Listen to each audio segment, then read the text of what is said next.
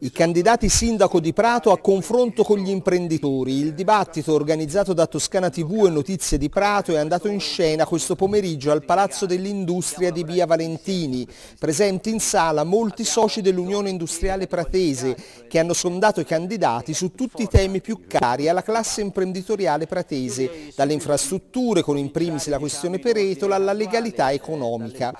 All'appuntamento si sono presentati sette candidati, con le uniche assenze di Mariangela Verdolini del Movimento 5 Stelle e Alessandro Rubino di Prato Viva che hanno declinato l'invito. Davanti alla platea di imprenditori si sono quindi confrontati Matteo Biffoni, Riccardo Bini, Emiliano Bonini, Roberto Cemni, Gisberto Gallucci, Carlo Lavigna e Mario Tognocchi. Il presidente dell'Unione Andrea Cavicchi, presentando il dibattito condotto da Daniele Magrini, ha riassunto quelle che sono le principali richieste degli imprenditori pratesi, a cominciare da un ritorno alle regole.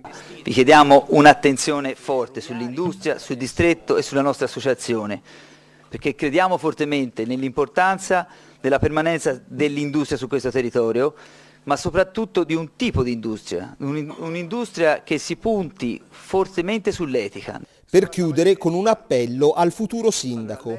Vi chiediamo e chiediamo un impegno forte a chiunque diventi sindaco che poi una volta diventato sindaco si possa iniziare un percorso insieme con l'associazione industriale perché da parte nostra c'è la volontà di portare un contributo forte nella, nella politica cittadina, di dare dei contributi anche dal punto di vista delle imprese e di fare un programma insieme per lavorare insieme su questa città.